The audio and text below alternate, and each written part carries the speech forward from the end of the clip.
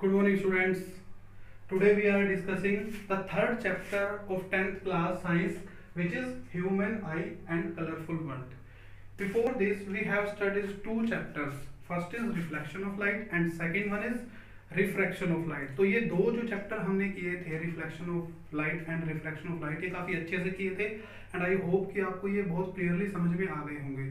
इसके बाद इन्हीं से ही मिलता जुलता एक और चैप्टर हमने करना है, जो थर्ड चैप्टर होता है, और इसमें जो हमारे नेचुरल कंसेप्ट होते हैं, कुछ फेनोमिना होते हैं, जिनके बारे में हमने पढ़ना होता है, और वो हम यहाँ पर इस चैप्टर में स्टडी करते हैं, जो कि रिफ्लेक्शन के ऊपर भी बेस्ड होते हैं, और रिफ्लेक्शन के मीन्स कि उन दो चैप्टर्स में जो हमने कुछ सीखा है उसको यहाँ पर प्रैक्टिकली हमने उसको अप्लाई करना है उस नॉलेज को, ठीक है?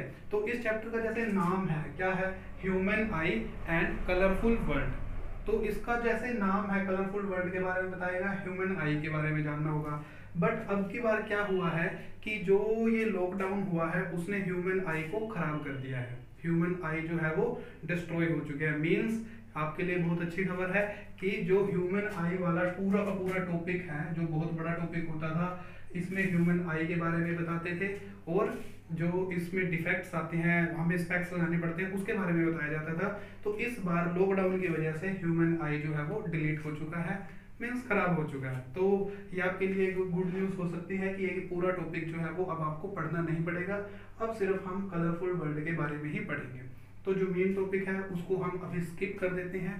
उसको छोड़ देते हैं। तो अब जो बचा हुआ सिलेबस है, उसके बारे में हम पहले पढ़ेंगे। वो उसमें सबसे पहला जो टॉपिक आता है, वो है प्रिज्म कि प्रिज्म के बारे में हमने पढ़ना है प्रिज्म क्या होता है। तो आपने कुछ छोटी क्लासेस में इसके बारे में कुछ पढ़ा भी होगा कि प्रिज्म क्या होता है, कैसा होता है। तो अगर आपको कुछ याद हो कि एक ग्लास का बना हुआ ग्लास मटेरियल का बना हुआ, एक ट्रेंगल शेप का मटेरियल होता है, जो लाइट को डिस्पर्स कर सकता है, इसके अंदर से लाइट ट्रैवल कर सकती है। तो ये होता है प्रिज्म ठीक है? इसकी हम नेमिंग कर देते हैं ए बी सी जिस साइड से इसको रखा जाता है, उसको बोल देते हैं बेस ठीक है? और जो दोनों ये वाली साइड होगी और ये वाली साइड होगी। फिर यहाँ से लाइट आएगी, यहाँ से निकल जाएगी। अगर यहाँ से आएगी तो इस साइड से निकल जाएगी। तो इनको हम बोल देते हैं रिफ्रैक्टिंग साइड्स रिफ्रैक्टिंग साइड्स इनको हम बोल सकते हैं रिफ्रैक्टिंग साइड्स दोनों साइड्स को। ठीक है? हालाँकि क्या होता है कि ये तीनों साइड से ही एक जैसा होता है। तीनों साइड से ही एक जैसा होता है। आप किसी भी जगह से किसी भी साइड से इसको नीचे रख सकते हो और उसको बेस बोल सकते हो। ठीक है? तो ये हमारे पास होता है प्रिज्म इसके अंदर से, इसके कुछ इफेक्ट्स हैं जो हमने इस लेक्चर में स्टडी करने हैं कि प्रिज्म के अंदर से जो लाइट है, वो किस तरह से पास होती है रिफ्रैक्ट कैसे होती है? जैसे हमने रिफ्रैक्शन पढ़ा था, अगर आपको थोड़ा सा रीमेमोराइज किया जाए तो रिफ्रैक्शन क्या होता था कि जब लाइट एक मीडियम से दूसरे मीडियम में एंटर करती है तो वो अपने पाथ से थोड़ा सा हट जाती है डेविएट हो जाती है। अपने पाथ को छोड़ के दूसरे साइड में, दूसरे डायरेक्शन में चलने लगती है, थोड़ा सा हट जाती है। तो वो क्या था? वो रिफ्रैक्शन होता था। तो उसी रिफ्रैक्शन को हमने लेंसेज में पढ़ा था।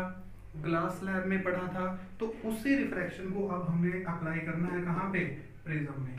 तो अब हमारा जो टॉपिक है, वो क्या है?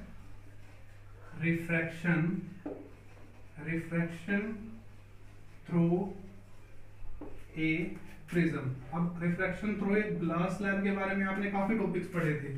तो अब आपने जो पढ़ना है वो क्या है? रिफ्रैक्शन थ्रू ए प्रिज्म या रिफ्रैक्शन बाय ए प्रिज्म इससे रिलेटेड क्वेश्चन आपको आपके एग्ज़ाम में फाइनल एग्ज़ाम में 100 परसेंट देखने को मिलेगा।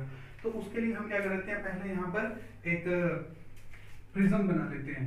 तो ये हो गया हमारे पास एक प्रिज्म थोड़ा बड़ा बना लेते हैं ताकि आपको क्लियरली समझ में आए कि कैसे ये रिफ्लेक्ट करेगा लाइट को। ठीक है? तो ये बना लिया हमने प्रिज्म ये हो गया ए बी सी ये दोनों हो गई इसकी रिफ्लेक्टिंग साइड ये हो गया इसका बेस ठीक है? इसके बारे में हमने पढ़ा था। अब प्रिज्म को कैसे कैटेगराइज किया जाता है? किसी प्रिज्म को हम क्या, कैसे बोलेंगे कि ये प्रिज्म जो है वो ज़्यादा रिफ्लेक्ट करेगा, ये कम रिफ्लेक्ट करेगा? तो इनको जो कैटेगराइज किया जाता है, वो इनकी एंगल ऑफ़ प्रिज्म से किया जाता है। तो इसको जो क्या बोलते हैं? ये होता है एंगल ऑफ़ प्रिज्म यहाँ पर जो ऊपर की तरफ़ जो एंगल बना होगा, उसको बोल देते हैं एंगल ऑफ़ प्रिज्म ये मैं आपको यहाँ पर लिख के भी दे रहा हूँ। एंगल ऑफ़ प्रिज्म यहाँ पर हमने लिख लिया एंगल ऑफ़ प्रिज्म तो ये किसका बना हुआ है? यहाँ पर है एयर और ये किस मटेरियल का बना हुआ है? आपको बताया है ग्लास का। ठीक है? तो एयर कैसा मीडियम बनेगा? Air is rare medium for this combination air is taken as rare medium whereas glass is taken as denser क्योंकि एयर से तो ज़्यादा डेंस ही है तो इसलिए ग्लास को हम क्या लेंगे? Glass is a denser medium ठीक है? तो अब वही जो प्रोसेस हमने पढ़ी हुई है रिफ्रैक्शन वाली, उसी को हम थोड़ा आगे बढ़ा देते हैं। आगे उसको फॉलो कर लेते हैं। जैसे हम पहले क्या मानते थे? एक इंसिडेंट रे तो यहाँ पर मैंने क्या बनाई? यहाँ पर बनाई एक इंसिडेंट रे बना दी। ठीक है? सपोज़ एक लाइट रे आती है, वो प्रिज्म पर इस तरह से इंसिडेंट होती है। इसको मैं लिख देता हूँ। दिस इज़ इंसिडेंट रे ये हो गई हमारी इंसिडेंट रे तो जैसे भी आपको पहले भी बताया हुआ है कि जब भी किसी पॉइंट पर लाइट रे इंसिडेंट होती है, चाहे आप रिफ्लेक्शन पढ़ रहे हो, चाहे आप रिफ्रैक्शन पढ़ रहे हो तो सबसे पहला काम हमारा क्या होता है? उस पॉइंट पर एक नॉर्मल ड्रॉ करना होता है, ताकि हम एंगल ऑफ़ इंसिडेंस और एंगल ऑफ़ रिफ्लेक्शन या रिफ्रैक्शन जो भी है, उनको मेजर कर सकें. तो इस पॉइंट पर अगर आप नॉर्मल डालोगे, यानी कि 90 डिग्री का एंगल इस पॉइंट पर डालोगे तो कहाँ जाएगा वो? इसके ऊपर 90 डिग्री इस तरह से बनेगा। तो इसको हम यहाँ से बना देते हैं। ये मैंने एक नॉर्मल यहाँ से ड्रॉ कर दिया है। ठीक है? नॉर्मल हो गया ये और इस नॉर्मल का नाम रख दिया एम तो ये बन गया angle of incidence angle I इसका नाम हो गया। ठीक है? एंगल ऑफ़ इंसिडेंस तो अब बात करते हैं रिफ्रैक्ट कैसे होगी। जो लाइट है वो कहाँ से कहाँ गई है? रेयर टू डेंसर मीडियम बाहर एयर है, अंदर ग्लास है. रेयर से डेंसर मीडियम में गई है. तो क्या होगी? ये नॉर्मल की तरफ़ मुड़ जाएगी. जैसा कि रूल में हमें बताया भी हुआ है कि ये नॉर्मल की तरफ़ मुड़ जाएगी, अपने पास से थोड़ा सा डेविएट हो जाएगी. अगर ये प्रिज्म नहीं होता तो ये लाइट रे सीधी जलती रहती, यानी कि इस तरह से आगे की तरफ़ चलती रहती. कैसे ऐसे जो है, ये आगे बढ़ती रहती. लेकिन बीच में आ गया प्रिज्म प्रिज्म की वजह से क्या होगा? ये लाइट अपने पाथ से डेविएट हो जाएगी टुवर्ड्स द नॉर्मल नॉर्मल की तरफ़ मुड़ गई। तो नॉर्मल की तरफ़ मुड़ गई तो सपोज़ ये थोड़ा सा इस तरह से हो गई। ठीक है? इसको अब हम ऐसे बना सकते हैं। तो ये तो हो गई इंसिडेंट रे और ये हो गई रिफ्रैक्टेड रे तो इसको लिख भी सकते हैं। रिफ्रैक्टेड रे कहाँ से कहाँ? Air to glass refracted ray from air to glass उसके बाद, अब यहाँ पर हम बना लेते हैं अपना एंगल ऑफ़ रिफ्रैक्शन कौन सी है? ये तो हो गई रिफ्रैक्टेड रे ये हो गया नॉर्मल तो ये बन गया हमारा angle of refraction at the first surface तो इसको क्या लिख दिया? R1 क्योंकि यहाँ पर भी तो रिफ्रैक्शन होनी है ना तो इसलिए ये बन गया R1 तो इंसिडेंट रे और ये हो गई रिफ्रैक्टेड रे क्लियर हो गया यहाँ तक? एक केस हमारा कंप्लीट हो गया। लेकिन अब क्या होगा? जब ये रिफ्रैक्टेड रे यहाँ पर जाएगी तो यहाँ पर भी तो रिफ्रैक्शन होगी, क्योंकि यहाँ पर ग्लास से किसमें जाएगी? एयर में दोबारा से बाहर निकल के जाएगी। तो यहाँ से इसने प्रिज्म में एंटर किया था, यहाँ से ये प्रिज्म को लीव करेगी। तो यहाँ पर फिर से रिफ्रैक्शन होगी। तो refraction at the second surface इसको आप इस तरह से भी लिख सकते हो कि refraction at the face A B या ये कहानी तो यहाँ हुई। दूसरी कहानी में क्या होगा refraction at surface A C तो उसको ए सी पे जो रिफ्रैक्शन होगी, उसको हम स्टडी करते हैं। यानी कि ये तो बन गई क्या? इंसिडेंट रे ठीक है, इस सरफेस पर जब रिफ्लेक्शन होगी तो उसके लिए ये तो क्या बन गई इंसिडेंट रे ये बाहर निकल के जाएगी। वो देखना है कि किस तरह से ये इसके अंदर से बाहर निकल के जाती है। तो ये बन गई इसके लिए इंसिडेंट रे यहाँ पर रिफ्लेक्शन होगी तो सबसे पहला काम क्या रहेगा? नॉर्मल ड्रॉ करना। तो वही काम नॉर्मल ड्रॉ करते हैं। अब इसके ऊपर आप 90 डिग्री का एंगल डालोगे तो कैसे जाएगा? इस तरह का बनेगा ना। तो उसको हम ड्रॉ कर देते हैं और ये कैसे आ जाएगा? ये हम इसको इस तरह से दिखा दिया मैंने। दूसरा नॉर्मल है ये। तो ये पहला था तो इसको लिख दिया n1 और ये दूसरा है तो ये हो गया n2 n1 और n2 दो हमारे पास नॉर्मल यहाँ पर बन जाते हैं। तो अब इस केस में ये क्या बन गया? Angle of incidence at the second surface ठीक है? तो इसको कुछ भी आप नाम दे दीजिए। मैंने इसका नाम R2 दे दिया। R2 क्यों दिया जाता है? क्योंकि सिमिलैरिटी के लिए। यहाँ से लाइट रेयर से डेंसर मीडियम में गई है। जब ये बाहर निकल के जाएगी तो उसको भी हम क्या मानते हैं? उसको वापस मान लेते हैं रिवर्सिबल मान लेते हैं, ताकि सिमिलैरिटी बनी रहे। यहाँ भी एयर से ग्लास में आएगी। मान लेते हैं ऐसा, लेकिन एक्चुअल में होता क्या है? कि लाइट रे कहाँ से कहाँ जाती है?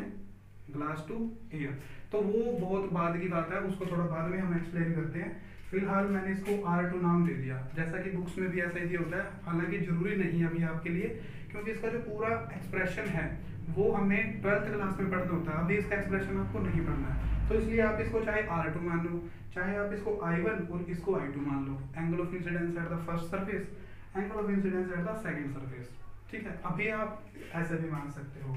तो मैंने इसको आर टू नाम दे दिया और उसको मैं बता दूँगा कि R two is the angle of incidence at second surface तो ये तो हो गई यहाँ तक की स्टोरी उसके बाद अब क्या होगा कि ये जो इंसिडेंट रे है, इस पॉइंट पर इंसिडेंट हुई. Suppose this is the point P and this is point Q तो क्यू पॉइंट पर जब ये इंसिडेंट होती है तो ये क्या होगी? अब रिफ्रेक्ट होगी.